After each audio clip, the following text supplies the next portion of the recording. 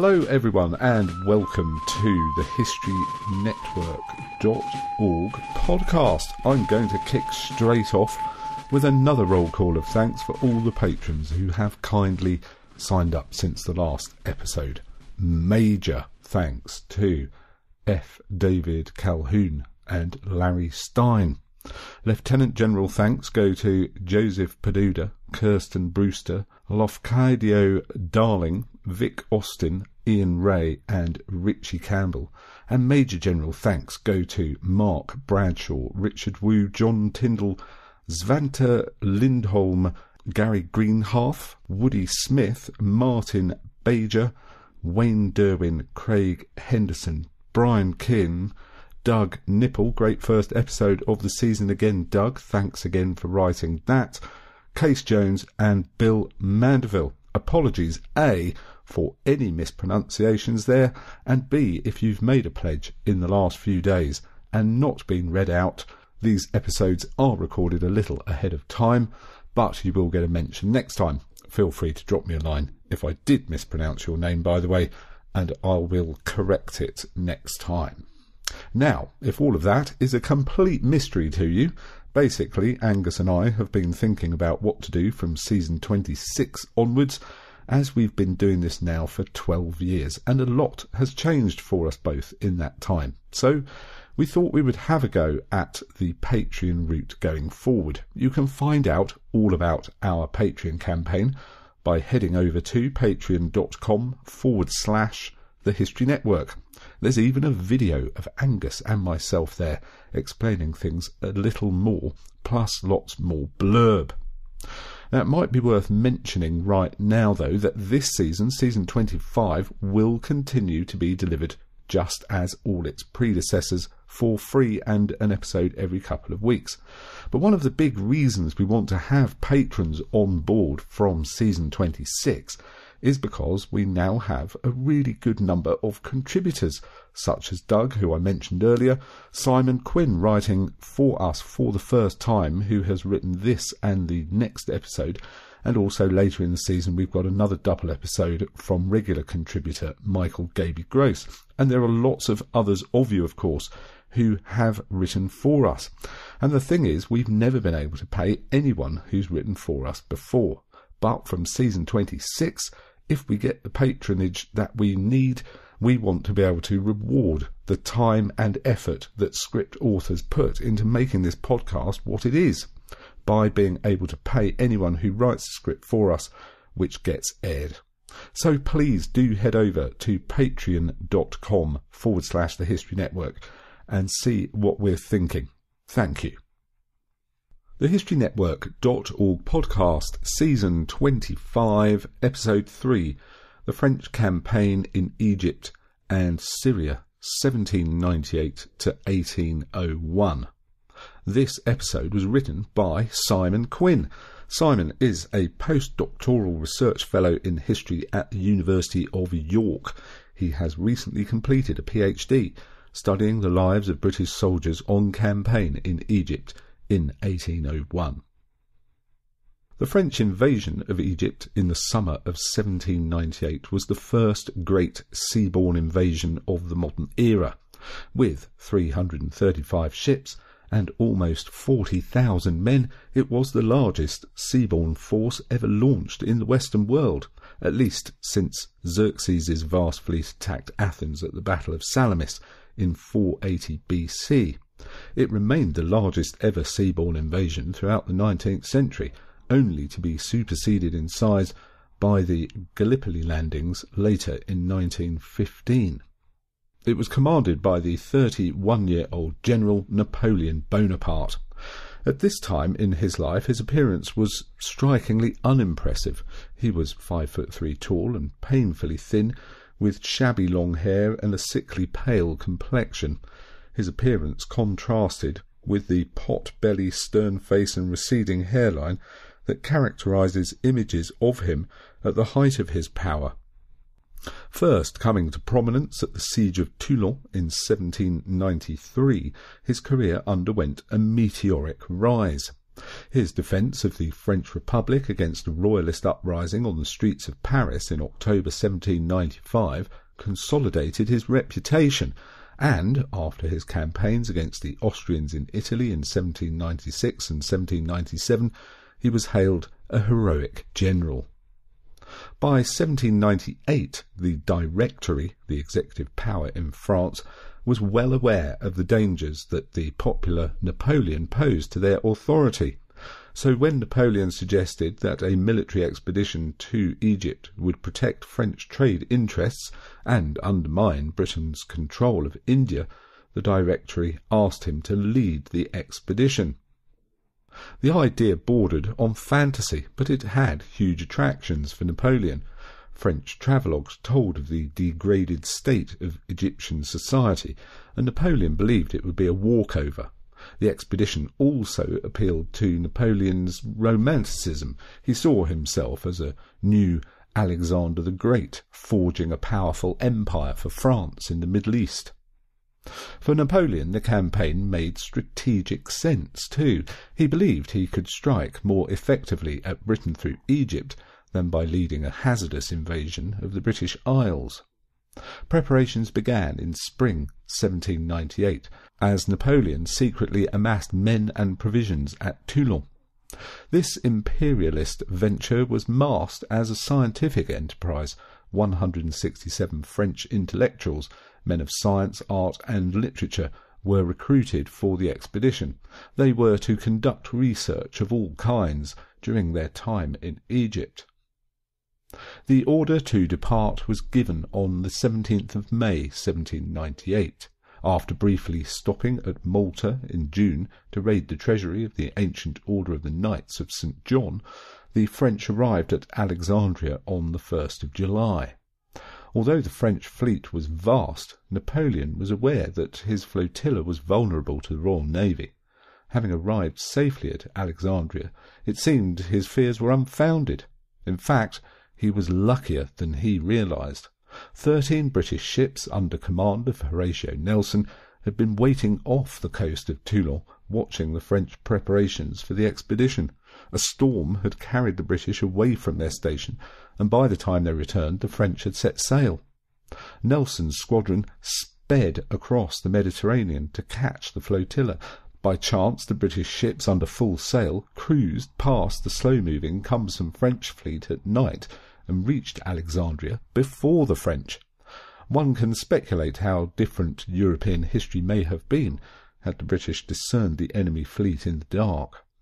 On seeing Alexandria practically deserted, Nelson thought the French must be heading for Turkey, and on the morning of the 1st of July he set off for the Anatolian coast. That same evening that Nelson set sail, the leading ships of the French flotilla anchored at Alexandria. The French quickly disembarked, breached the crumbling fortifications of Alexandria and brushed its small garrison aside. However, even at this early stage, the French struggled with a scarcity of water. This was an indication of what was to come. Napoleon's lack of careful planning and his inability to appreciate the intense heat and shortage of water would destroy many lives. The primary objective at this stage was the occupation of Cairo.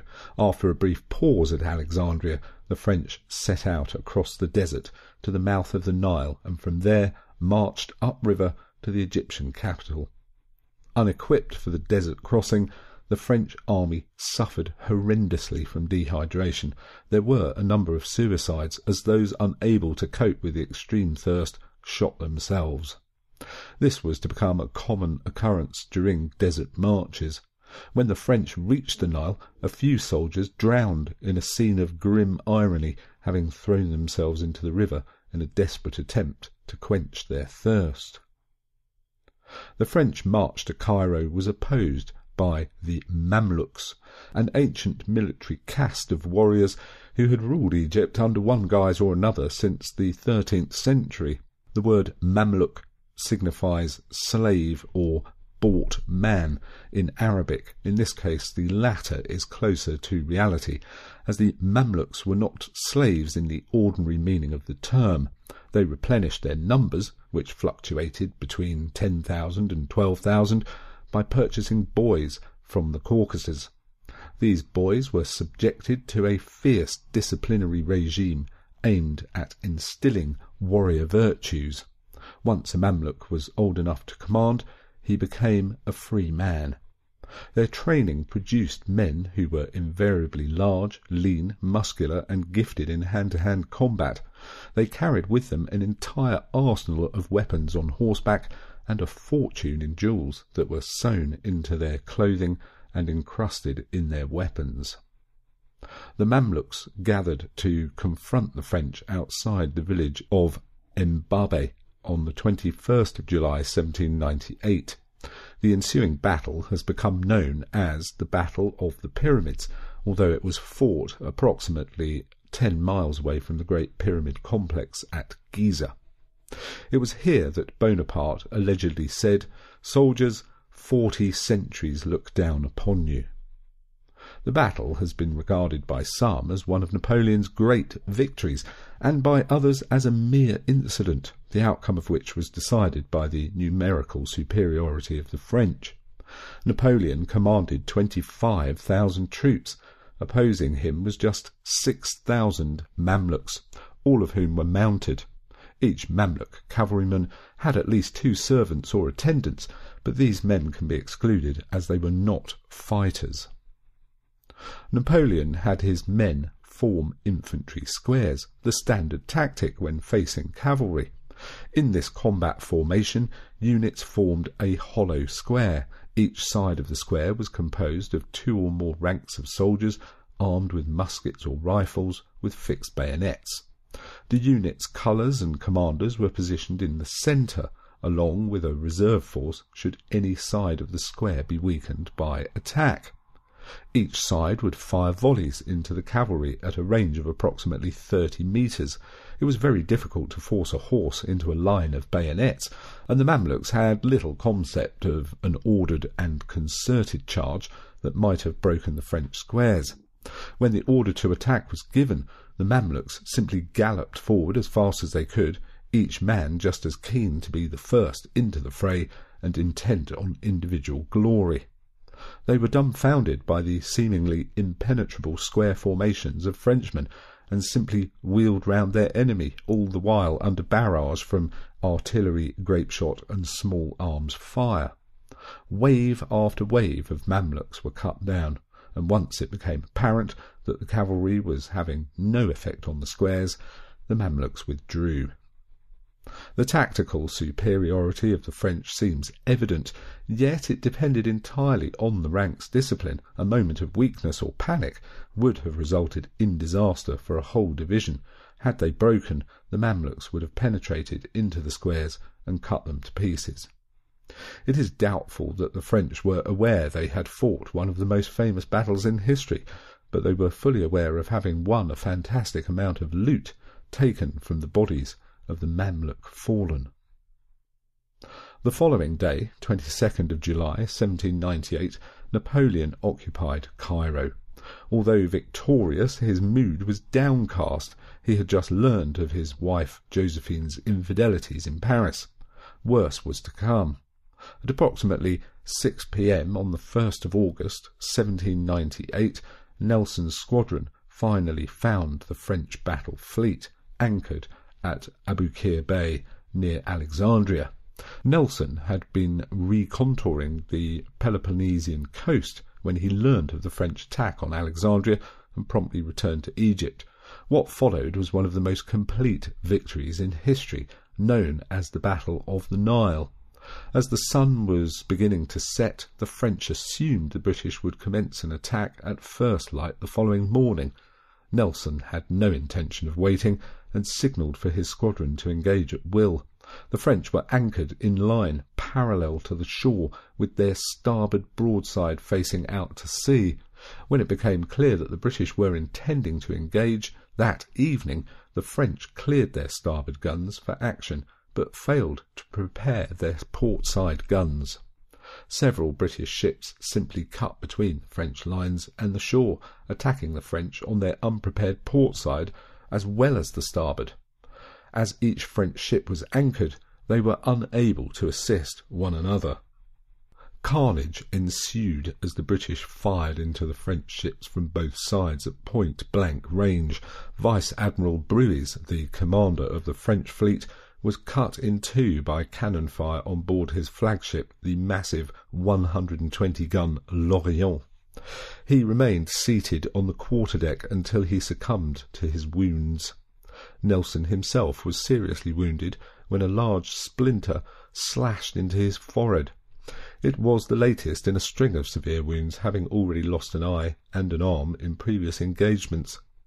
By the early hours of the 2nd of August, the Royal Navy had utterly annihilated the French battle fleet.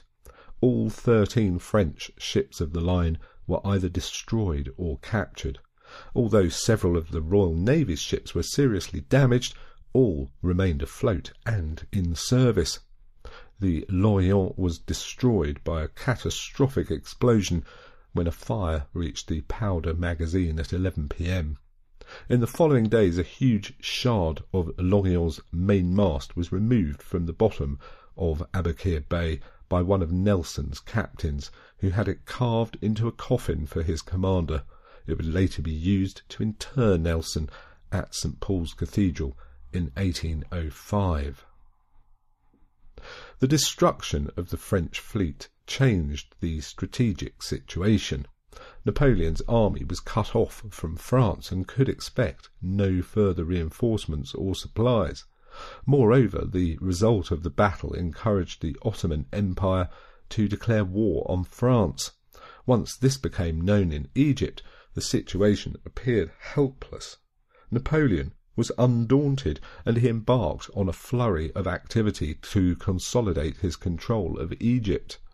A detachment of 3,000 men under the command of Louis Charles Antoine Desaix, one of Napoleon's most trusted generals, was sent after the remainder of the Mamluk forces who had retreated into the desert south of Cairo.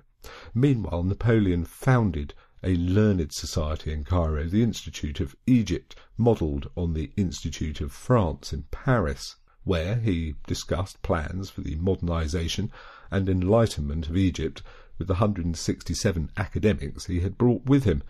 He also took a mistress, Pauline Faure, the wife of a cavalry officer. He made no attempt to keep the liaison secret, and was well aware that word of this would get back to Josephine in Paris which was doubtless what he intended.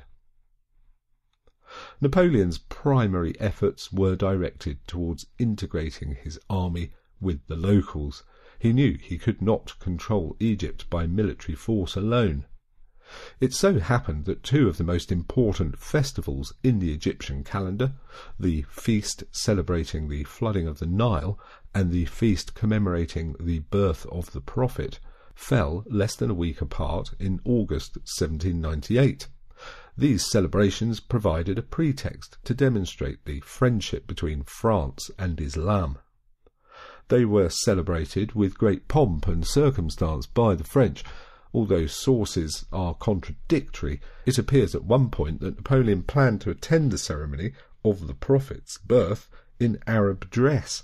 Earlier at dinner with his staff, he had appeared in this attire, but was greeted with bursts of laughter, which prompted him to remove it. In spite of these efforts, Napoleon could not sway Egyptian opinion. Although he was careful to show respect for Islam, he and his army were not Muslims, and remained infidel invaders in the eyes of Egyptians. This hatred resulted in sporadic acts of violence against the French, particularly in rural areas where their control was less secure. At El Mansoura, 80 miles south of Cairo, a garrison of 120 Frenchmen was massacred shortly after occupying the fort there. In Cairo, the growing discontent among the Muslim population contributed to the homesickness among the French garrison. This feeling was heightened by the disappointment at the sights and amenities offered in Cairo. The French were blind to the city's more beautiful or historic features, and instead bemoaned the absence of conveniences that Parisians took for granted. By October, the population in Cairo was well aware of the Turkish Sultan's declaration of holy war against the French. It proved a catalyst for the Muslim inhabitants, and a vicious revolt broke out at Al Azhar Mosque, one of the largest in Cairo. Although the insurrection was rapidly and bloodily suppressed, the French were left under no illusions about the locals' hostility to the occupation. The discontent in Egypt was far from Napoleon's only concern. Encouraged by Ottoman support, Djezzar, the Pasha of Acre, began amassing troops on the Egyptian border and sent incursions into French territory. It was clear to Napoleon that a major attack was coming, but he refused to wait and launched a full-scale campaign into Syria to eliminate Djezzar. This campaign may not have been as impulsive as it seemed, as it was designed to follow in the footsteps of Alexander the Great. In this regard, it is significant that Napoleon brought many of the academics with him to Syria, copying the example of Alexander, who sent back to Aristotle samples of flora and fauna his expedition found on their way to India. This imitation of Alexander's practices allowed Napoleon to fashion himself as a new Alexander. We will be continuing to look at the exploits of Napoleon in Egypt and Syria in a couple of weeks' time. Thanks again to all you recent patrons. If you haven't yet, then please go and have a look at patreon.com forward slash the history network to see what Angus and I are thinking of doing from season 26 onwards.